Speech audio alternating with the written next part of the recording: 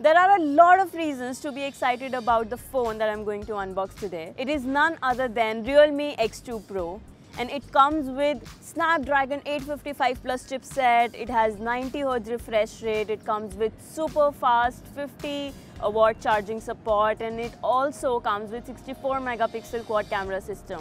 Like is there any other reason to be not excited about this new phone? So without wasting any further time, let's get into the video and unbox the new phone.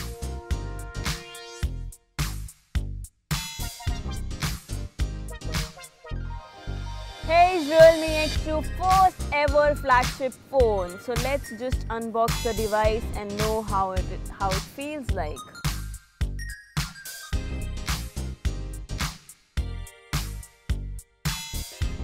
So with the box, uh, you get a transparent cover which is blackish in tone and honestly I like it more than the clear transparent which is white in nature but this is more interesting. And then here is the device. Oh my god, it looks absolutely gorgeous. Let's check it out. So till the time I boot the phone, let's check out the other contents that, that are there in the box.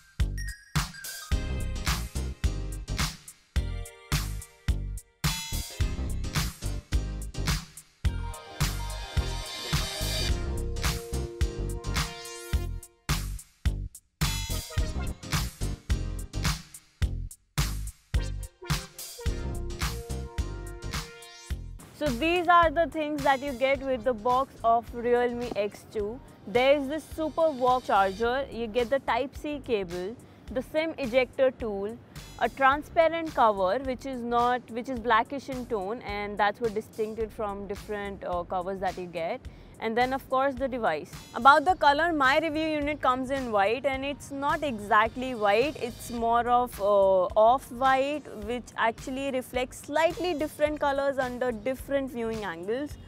But it, it really looks pretty in hands and it, it gives you a feel of that premium device. Of course, it comes with features that you find in all the flagship devices. And the back of the phone looks so pretty that I really don't want to use it like that. I would definitely use the free transparent cover that I got with the box.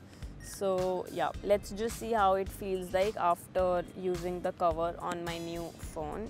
Okay, I think it's a little bit tricky.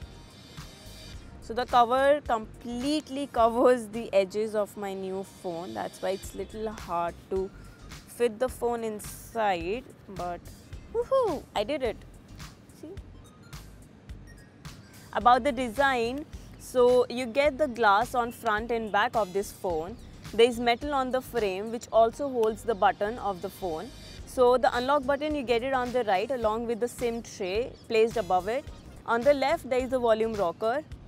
There is 3.5 mm headphone jack, Type-C port and a speaker grill on the bottom. And just like I said, it's a quad camera module, so you get 4 cameras at the back. Is 64 megapixel main camera, then you get a 13 megapixel telephoto lens paired with an 8 megapixel ultra wide angle lens and a 2 megapixel depth sensor. On the front, this device comes with 16 megapixel front facing camera. The screen of this phone measures 6.5 inches diagonally. It is a super AMOLED display supporting HDR10 plus.